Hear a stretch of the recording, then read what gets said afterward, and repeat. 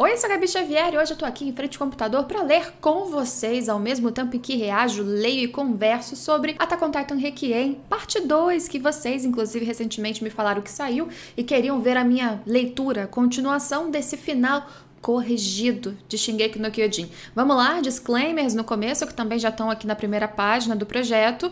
É uma fanfiction, portanto, uma fanfic em cima de três capítulos do final do mangá de Shingeki. 137, 138, 139, eles estão reescrevendo, mas aqui eles estão justamente dizendo que é a ideia deles. Teoricamente, eles acham que assim terminaria melhor Shingeki, estão ilustrando muito bem, inclusive, pelo que eu vi na primeira parte, mas você pode ter gostado do final original mesmo assim, mas a gente gente vai comentar o que foi feito aqui também. Lembrando que se eu não curtir alguma coisa, tá, gente? É só a minha opinião. Todo respeito também ao trabalho dessa galera que tá fazendo a fanfic e se esforçando pra caramba. Sem mais demora, vamos ler a parte 2, não é mesmo? E comenta comigo o que você acha disso também. Lembrando que é em cima de capítulos finais, então se você não quer spoiler ou fanfic em cima do spoiler, não fica nesse vídeo e vê outros que tem um monte. Abri aqui a parte 2 e já tinha português disponível, assim como várias outras traduções. Já vamos direto para português que facilita para todo mundo.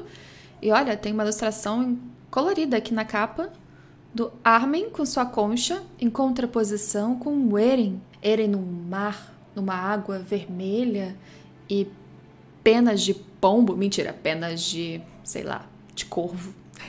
Esse seria o final baseado na teoria do Akatsuki no Requiem, né? Que vamos lá, temos spoilers. É uma ideia da galera que, ao mesmo tempo que gostaria de ver um Eren vilão, também gostaria de ver ele arrependido do que fez no final ou vendo as consequências. Pelo menos assim era a teoria do famoso Eren Bolota. Será que aqui é Eren Bolota virando Eren Bolota? Vamos começar. Eu não lembro exatamente como parou, mas vamos lá. Eu acho que era o Armin encontrando o Eren nos caminhos, né? E tá o Erenzão, o Erenzinho e. Eren!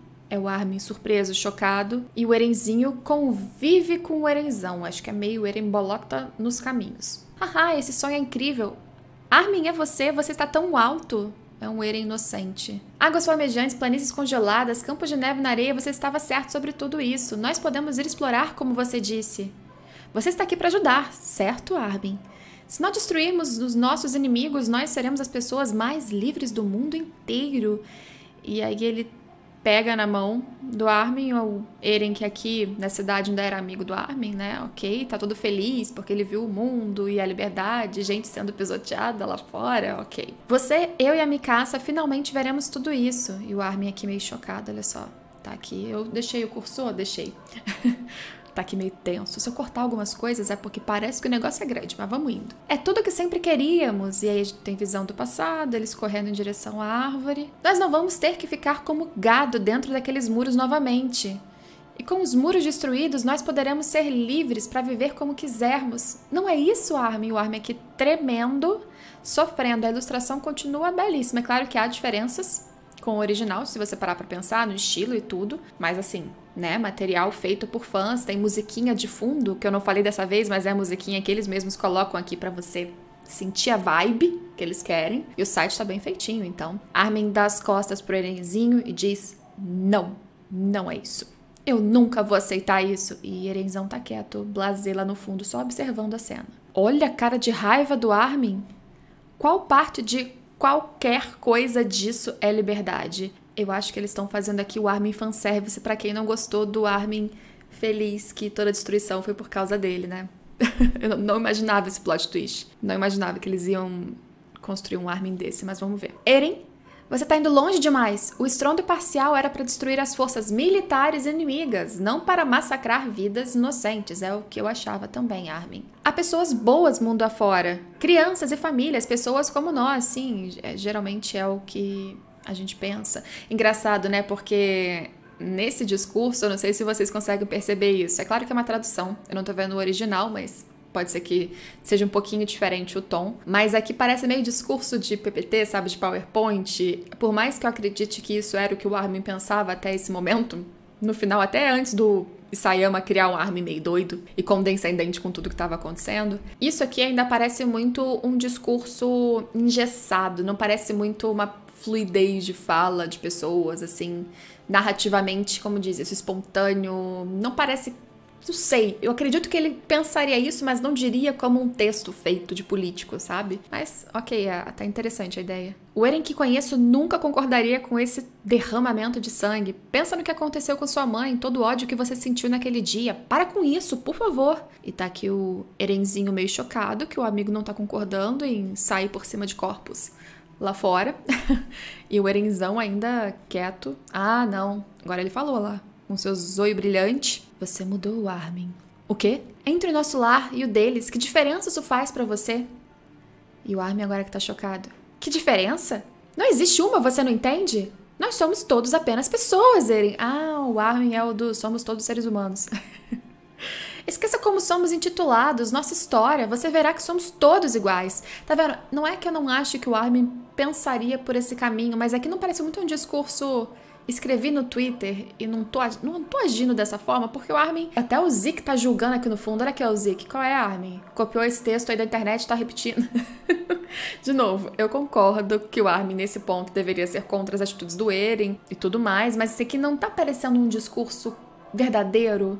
Parece que ele tá só cuspindo palavras do que ele acha que é certo. Não sei explicar, gente. Não é que eu tô achando ruim de novo. Desculpa, gente, eu não tô criticando os caminhos disso aqui. Eu só não tô conseguindo acreditar nesse Armin. Ou o Isayama destruiu o Armin para mim também. Pode ser, nunca se sabe. Aí tá aqui o. Eren pensando no Taibo? O mundo não pensa assim, Armin, ah, sim, porque ele pensou que o Willy tá dizendo que tem que destruir todo mundo, destruir Paradis, destruir Eren Yeager e inflamando o mundo contra a ilha. Eu sei disso, mas isso não significa que devemos desistir. A não ser que a gente tente e converse. Aí o Eren interrompe. Nós estivemos na garganta um dos outros por dois mil anos. Nenhuma quantidade de conversa vai fazer isso tudo ir embora. Minha postura sobre isso não vai mudar. Então tá o Eren aqui muita raiva e até esse momento não dizendo que ele viu alguma coisa do futuro. Eren, Armin tá chocado. Nada que nos tenha à mercê de outras pessoas vai algum dia ser certo. Tá aqui o Eren brabão. E o Armin continua chocado e botando o corpo para trás de uma defensiva, né? Interessante essas mudanças corporais que eles estão construindo. O futuro de Eldia não será criado sobre discursos e boas intenções. Vai sim em sangue. Eu vou colocar um fim. Eu vou colocar um fim nessa guerra, gente, de novo. Não é que eu não acredite que o Eren queria construir tudo em cima de sangue, a gente viu que ele queria. Mas esses discursos são muito engraçados, porque eles parecem muito é, caricato, sabe? É caricato. Tipo, eu vou construir em sangue. Ou o outro, somos todos seres humanos, Eren. É meio teatral. Não sei dizer, eu não tô conseguindo acreditar muito nesse diálogo. Pode ser apenas porque eu não tô investida na história, mas tô achando um rumo interessante. Eu não tinha pensado que eles iriam fazer um, um embate tão sério entre Eren e Armin. Talvez por isso tinha aquela capa, né? Será que esse vai ser o foco? Armin versus Eren nessa visão de Requiem? Quem sabe? Você chama esmagar bilhões de pessoas de guerra? Não há outro jeito. Você está errado. Você não vê, Eren? Você está cometendo o pior ato de violência na história. Tá vendo? Ele tá falando muita coisa que eu acho que o Armin tinha que ter dito, que alguém tinha que ter falado pro Eren, que é o que a gente esperava, ou que muitos de nós esperávamos que o Armin falasse pro Eren no momento que ele tivesse a oportunidade. E o Armin apenas agradeceu. Obrigado, Eren. Eu só não acho, de novo, que seria exatamente assim. O Armin seria um pouco mais incisivo na minha visão ou no meu desejo, né, de fã na minha fanfic da cabeça, mas eu acho que ele também seria um pouco balançado pela amizade. Digamos que um meio termo entre o que tá aqui em Requiem e o que foi no Isayama, na minha visão também, né? Talvez seja um segundo caminho de fanfic. Eu não me importo como você justifica isso, essa não é a resposta. Se isso for o seu jeito de me mostrar que você sempre foi assim, então você não é nada mais do que um escravo do seu próprio egoísmo. Isso diz mostrar o Erenzinho ali? Que ele trouxe o Erenzinho para mostrar que ele sempre foi desse jeito, que ele não mudou? E aí o Armin chamou ele de escravo, aqui ó, Eren ficou bolado, ficou muito brabo. Vai bater de novo no Armin. Se nós não lutarmos, nós iremos morrer. Essa é a nossa realidade, nenhuma quantidade de conversa vai mudar isso. Ou seja, conversinha, papinho, de fato não vai mudar. E aqui é uma coisa que eu não sei se ele vai tratar ali para baixo. Lógico que eu tô lendo e comentando, tá, gente? Mas é que realmente não, de novo, não acho que nem é 8 nem 80. Não é só papinho e conversa, mas também não é só esmagar e pisar em todo mundo, né? Pelo menos não é isso que a gente esperava que acontecesse no mundo ideal. O mundo está certo em nos odiar, Armin. Para eles, nós nunca deixaremos de ser os demônios que podem matá-los a qualquer hora. Não, não esperava por essa fala aqui agora. o Armin, o Armin, o Eren admitindo que realmente eles são demônios e que o mundo tem que odiá-los mesmo. Então, uns, uns, pequenos plot twists mentais aqui para mim. Então, contanto que essa continue sendo a verdade, guerra e derrame de sangue nunca cessará. E não vai cessar nem com você fazendo o que você fez lá no, na versão Isayama, Eren. Se você não puder abandonar sua humanidade para fazer o que é necessário, então nada do que você disser algum dia vai mudar qualquer coisa. Tá fazendo aqui espelho a fala do próprio Armin, não é que o fandom ficou repetindo o tempo todo que você tem que deixar de ser, tipo, abandonar sua humanidade para lutar contra os monstros? Eu acho que tá fazendo isso mesmo. E aqui tá o Armin, ó. Armin tendo aquela explosão na mente. E todas as vidas que se sacrificaram por você vão ter morrido por nada. Aí tem várias vidas, tem pessoal da tropa, tem o Marco, olha só, Randy, que morreu recentemente. Temos também Erwin, Erwin, que foi aquele que tá atrás. Olha, essa contraposição é muito interessante. É exatamente isso. Ele sobreviveu e ele se atormentou para sempre no lugar do Erwin, que tá aqui, ó, essa figura imponente, grande. Nossa, eu gostei bem desse painel. Muito maneiro. Eren, seu desgraçado. Isso nunca foi o que eu. De repente o Eren vai, pega no seu pulso e libera um monte de memória. Vamos ver que memórias estão aqui. Temos uma cadeira, temos o Zeke. Aqui é o que, gente? É o pai do Eren? É o Grisha? E aí depois a gente tem aqui também a Carla com o mini Eren, carta, uma carta aqui que o Eren mandou, Brabuleta. Temos aqui a própria Emir e uma mãozinha, Flor, Eren Kruger. Esse aqui é o quê? Vô do Eren? Já não sei. Tanto tempo sem reler Xinguei que acontece isso. Aquele dia, na cerimônia, Algum dia você vai me dizer o que viu? Ah, é a história falando. É aquele flashback que a gente viu dos dois? Eles vão reconstruir o flashback? Hum. Uma família. Com a rainha como mãe, seria bem estranho, não acha? Eu sabia do que eu estava abrindo mão quando aceitei esse cargo.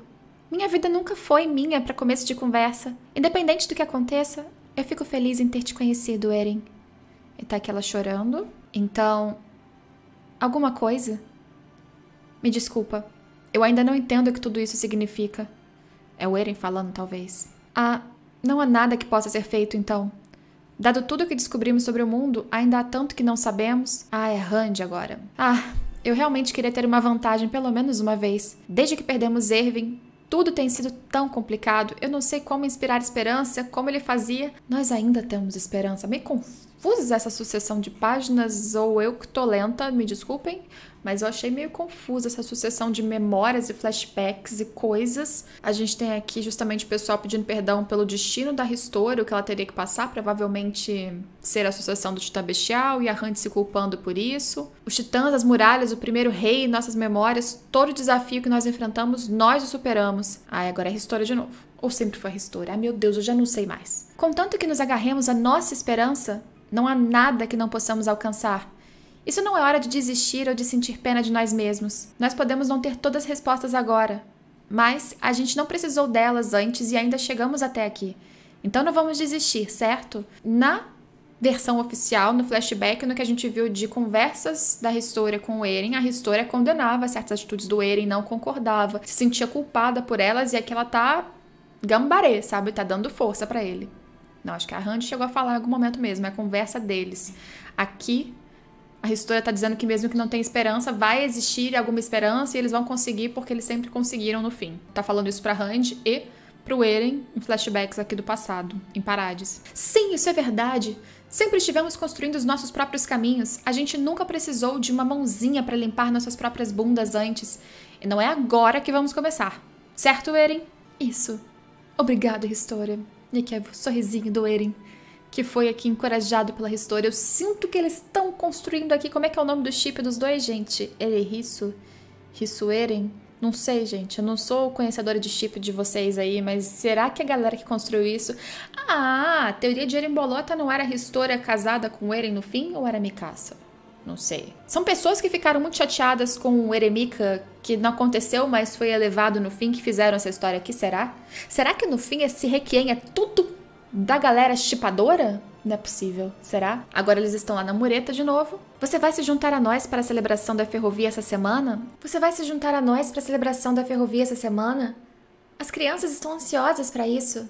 Eren, os Azumabito não vão nos ajudar. O exército está decidindo seguir em frente com o plano. Entendo.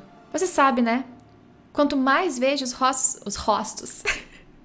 os rostos sorridentes deles, mais eu quero aquilo para os meus filhos. Hum, tá dando indireta de família. Se aquele plano é tudo que temos para dar ao nosso povo uma chance, então precisamos aceitá-lo e criança sorrindo e os dois juntos, eu Eren olhando, e tem cabelos ao vento e lágrima caindo.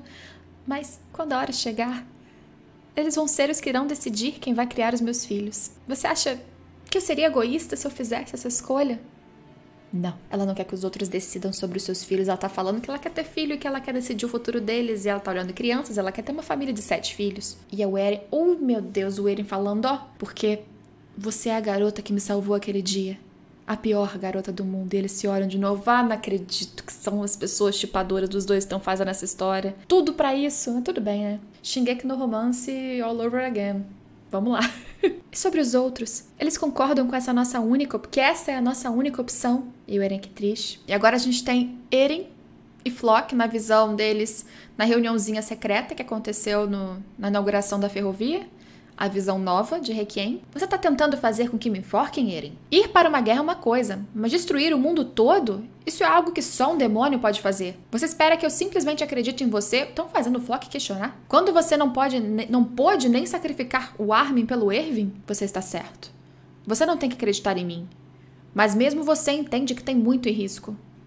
Então por que você não disse isso para todos? Porque eles não serão capazes de fazer o que é necessário. Então a gente teve aqui um Flock meio parecido com o Flock que lidou com o Eren na morte lá do Erwin, que criticava ele por ser fraco, por ligar para os amigos, porque tem que ser um demônio para destruir todo mundo, né, para lutar contra outros demônios. É a fala que ele tinha para justificar a teórica necessidade de sobreviver o Erwin. Fizeram esse link, pelo que eu entendi. Simplesmente não tenho certeza se alguém tão sentimental como você está à altura da tarefa em questão, tá vendo? É o mesmo Flock que aparentemente continua olhando o Eren igualzinho nessa cena aqui anos depois. Mas não podemos esperar por um milagre também. Não importa como você olha para isso, nós ou eles, de qualquer forma, você está falando sobre genocídio. Uma vez que ele começar, não tem mais volta. Eren, você realmente vai cometer um pecado imperdoável assim? Não me importo com o perdão. De qualquer forma, nem cinco anos de vida eu tenho mesmo. Não posso gastar eles não fazendo nada. Se ser um demônio é o único jeito de fazer o que é necessário, então de bom grado eu aceito me tornar um. Irei salvar Eldia. Não importa se eu morrer. Eu não vou deixar eles roubarem o que é nosso. Tá com raiva. Nem vi que ele tava com muita raiva. Olha a progressão. O Flack continua questionando, dizendo que ele é muito sentimental e aparentemente o Eren aqui já é muito diferente, mas eles quiseram botar como o Flock passou a admirá-lo, sendo que antes ele o criticava. Tentaram preencher uma ponta que eles acharam que estava solta. Nesse sentido, eu não acho que tinha ponta solta, não, mas entendi. Mas preferia muito mais o Eren e a conversa disso, particularmente na versão do Isayama. As duas, na verdade. Tanto aqui até o momento com a Ristora, que eles vão continuar e ampliar, então tapa acontecendo aqui, vi de repente solto, quanto a conversa dele com o Flock. Eu acho que a construção do Eren nessa etapa, nos flashbacks, na versão Isayama de produção, tava mais do meu agrado. Eu só tive problema com 139 mesmo, gente, infelizmente. Isso não importa e pá, tapa na cara do Eren. Porque tapa é bem clichê, né? Como dizer isso para mim? Covarde. Você acha que pode simplesmente fugir dos seus pecados se matando? Depois de tudo que a gente passou? Nada disso importa. Ela tá chorando muito. E ela tá super sentimental. Meu Deus, olha o choro da menina aqui embaixo. Eu, eu entendo o que isso vai significar para todos nós. E você pode ser capaz de passar por todo esse inferno por si só. Mas, por favor, pense nas pessoas que te amam, assim, ó, batendo no peito, assim, ó. Eu, Eren, eu te amo. E o Eren tá aqui chocado. Se você tem a intenção de morrer, eu não vou fazer como você quer que eu faça. Eu não consigo. Não me faça passar por isso de novo. Você prometeu. Você prometeu. E ela tá chorando copiosamente. A história tinha sua dose de emoção, mas nessa fase nem tanto. E aqui ela tá louca, pensando em não perder o Eren. Aqui o romance está oficializado. Comenta aqui embaixo se você tá acreditando nessa cena de novela, porque eu tô assim muito me emocionando, não, mas entendi. Ah, eu achei que ela tava pensando só na Emir. Aqui tem a Frida também. Já ia falar que eles fizeram um paralelo de que ela amava a Emir e ela perdeu a Emir. Amava romanticamente, que eu digo, né? E aqui eles tinham aceitado isso nessa versão, mas não, porque tem a Frida, então são só pessoas que ela gostava e ela perdeu e ela não quer perder o Eren também, mas claramente ela ama romanticamente o Eren. A verdade é que eu estou assustada. É por isso que eu quero tentar e lutar por essa chance. Então, Eren, o que você acha de, de eu ter um filho? Porque do nada surgiu ter um filho nessa história e aparentemente é um filho pombo. Olha, eles são uma associação de família pombo. Aqui tem Eren Pombo, História Pombo e eles vão ter um pombinho. Então talvez teoria do Eren Bolota tá aqui se realizando. Eles vão ter um filho que é Pombinho Bolota. Eu sei que eu tô pedindo muito, mas, mas eu não sei mais o que fazer. Eu acho que aqui é o Eren falando: Eu vou achar uma solução. Eu prometo. Ou é ela falando: Eu vou achar uma solução. Eu prometo. Acho que não, porque o Eren tá mostrando essa coisa de quem tá falando aqui cada hora. Eu tô achando meio confusa mesmo. Eu só posso não ter pego o tipo de narrativa que eles estão tentando passar. Mas no Sayama eu acho mais clara, sabe? Fala de um de um lado, fala de outro do lado. Enfim, o Eren levou ela para algum canto aqui para encontrar não sei quem. Depois dessa conversa deles em que eles se abraçam, são um casal real oficial. Me desculpe. Tudo que eu sei é que se eu não fizer isso, isso nunca irá ter um fim. E o Eren sabe que se ele fizer isso aqui que ele tá fazendo agora, nessa versão de Requiem, ele viu o final e vai ter um fim, porque na versão do Isayama ele deu uma pausa para quem tinha sobrevivido em Parades, aniquilando 80% do mundo, mas o ciclo meio que não terminou não, né? Porque o negócio começa para sempre. E o foco desse capítulo é basicamente o romance dos dois. Pelo que eu tô vendo aqui, eu quero saber o espaço que eles deram nessa parte 2, eu não sei se vão ser só três também, né? Mas o espaço que eles deram nessa parte 2 pro romance e desenvolvimento do plano do Eren em cima de um romance me deixa curiosa de como é que eles vão resolver o resto, porque tem muita coisa para responder de Emir também ainda, mesmo que eles tenham desenvolvido ela, pelo que eu me lembro, na primeira parte um pouquinho, de questão de maldição e do resto do mundo, do plano do Eren, seus amigos, a Mikasa, como eu disse, nem aparece aqui, vamos ver, tô curiosa. Mas o foco tá no chip. Então, não faça isso sozinho. Eu realmente sou a pior, a mais desprezível. Ai, gente, fala sério. Esse papo autodepreciativo, desnecessário, cachorros não param de latir no vídeo inteiro. Eu não vou dizer a ninguém o que você está planejando fazer, Eren. Eu só vou chorar em toda a nossa conversa. E aí tá o Eren olhando a história, falar com cientistas, aparentemente, um cara de boné. Não sei muito bem o que cientista e o cara do boné estão fazendo juntos. Tudo estará preparado, eles estão preparando alguma coisa. Aqui é o Flock falando. Contanto que você veja as coisas no seu final. Contanto que você veja as coisas no seu final. Ah! Será que isso aqui foi mal traduzido? Tipo, tá planejando conforme ele viu no futuro, conforme o ele enxergou no futuro? Pode ser, pode ser. Tô aqui teorizando. Vamos nos preparar para o renascimento de Eldia. E o Flock agora tá junto com o Eren, mas menos idealizando o Eren nessa versão. Afinal de contas, nós já chegamos até aqui pronto. Ela já tá grávida nesse ponto. É aquela cena clichê de histórias ficcionais que a pessoa mostra que tá grávida botando a mão na barriguinha e a história vai ter filho. E a do Eren, quem queria muito que o filho fosse do Eren, nessa versão aqui, fazendeiro nem existe, nunca existiu, história é do Eren e Mikasa perdeu, aparentemente. O Armin tá chocado. O Armin aqui viu todo esse exposed e tá totalmente boquiaberto, como todos nós. E o Eren tá nervoso porque tirou a mão com agressividade e jogou o Armin no chão. Mas não foi ele que mostrou? Você.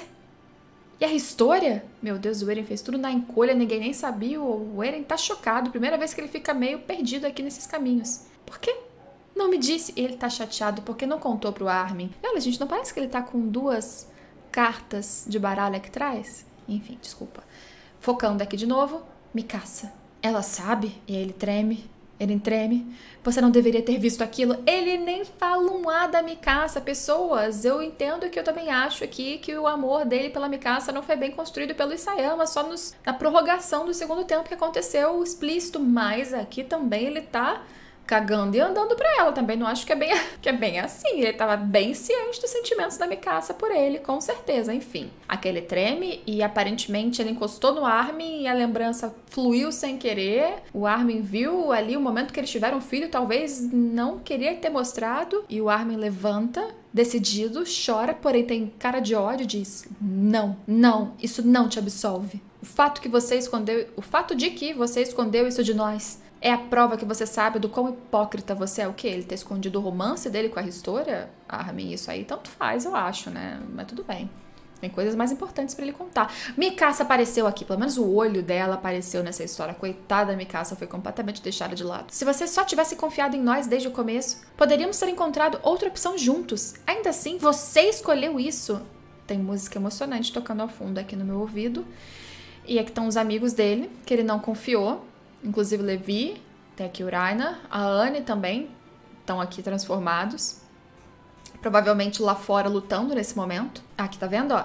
E agora as pessoas que nos importamos estão a ponto de morrer por suas mãos. Então ele tá dizendo, ó, você tinha planos, só confiou na Ristora não contou nada pra gente. Se ele tá questionando isso, não ter contado os planos e como ele construiu com Flock Ristora o futuro de Eldia, aí eu concordo. É que ficou bem parecendo meio ciúme aqui do Armin também, sabe? Mas ok, tá chateadíssimo que as pessoas vão morrer pelas mãos do Eren. Gente, aqui o Eren não tá ligando nem um pouco pros amigos. Acho isso pesadíssimo. E assim, se é pra uma história aqui amarrar coerências, esse capítulo eu tô achando bem coerente algumas coisas nessa conclusão dele, assim, não sei se vocês concordam comigo. Você fica falando sobre destruir o ciclo, mas tudo que você fez foi condenar o seu filho a ser o filho de um monstro. Eu nem lembrava que o Zeke tava aqui, ó. O Zeke tá aqui, não abre a boca, tá só Stalker olhando tudo, observando e falando, gente, que babado. E não fala nada, coitado do Zeke, apagaram ele. E o Eren chateado falando, nós sempre fomos monstros, Armin. Não pode simplesmente começar a agir como se não fosse um, como se o Armin não fosse um monstro ele mesmo. Então, não teve sentido mesmo em falar com você no final das contas. Não, Armin, na realidade eu tô achando que esse capítulo todo foi só um expose do relacionamento do Eren e da História, porque não teve muito sentido mesmo, não. Então, por que, Eren? Por que me trazer aqui? Porque você me perguntou algo que você pensou que eu não queria escutar. O quê? Já não sei. e porque eu não quero lutar contra o meu melhor amigo. De repente, do nada, gente, que plot twist foi esse? Que virada louca foi essa? De repente virou a história sobre amizade. acharia que faria mais sentido, inclusive. Vamos lá, de amizade pro romance pra amizade. E tudo bem, Eren. Você tá meio confuso, né? Cadê o psicólogo, gente, de Shingeki? Quando você disse que não iria tirar nossa liberdade de te parar, isso não mudou. Mesmo após tudo isso, a escolha ainda é sua. E é que a cena deles juntos, o Eren protegendo o Armin, uma amizade que já foi tão bonita. Ah, xinguei que bons tempos. Então, você estava certo sobre uma coisa. Eu era fraco. Eu estava com medo de fazer o que era necessário. Mas não mais. Ih, gente. E o Erenzinho do nada também, que não fala mais, só serviu para o começo, tá observando tudo chateado, chocado. Isso aqui não, tava inter não interferiria de alguma forma em todo o futuro do Eren? Ou será que o Erenzinho tá vendo isso? Mas o Erenzinho tá enfrentando o Arminzinho já não sei mais. Deixa eu terminar de ler. Eu vou te parar, Eren. Mesmo que eu tenha que te matar. E aí, olha só.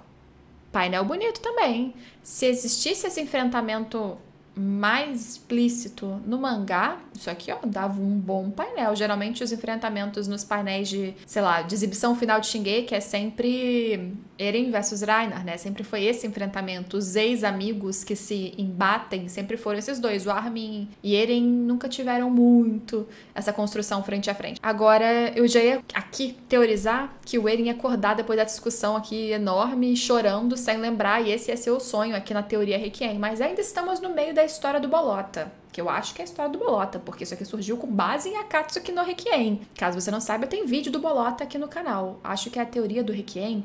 Já não me lembro o título. O título não tem Bolota. Bolota surgiu depois da forma espontânea que eu criei o vídeo e das pessoas comentando nos comentários. Mas comenta aí o que, que você achou dessa parte 2. Honestamente, apesar de uns umas viradas e uns plots assim que eu não esperava, ou do começo ter alguns diálogos que, como fanservice, vem para dizer algo que a gente achava que Armin tinha que ter dito, por exemplo, ou da galera que queria o Eren sanguinário, independente de tudo, e vou pisar e sangue também tá lá. Apesar disso, eu acho que é um capítulo que falou muito e não disse muita coisa, entendeu? Mas é a minha opinião, tá? É apenas a minha opinião. Trabalho de fã muitíssimo bem feito, muito bem construído. Tem página, pelo que eu tô vendo aqui, tem rede social, tem música de fundo. Lembrando que temos vídeos pelo menos terça, sexta, domingo, sempre volto. Tem rede social também. Esteja por aí, se inscreva e acompanhe comigo os próximos vídeos do canal. Tchau, tchau!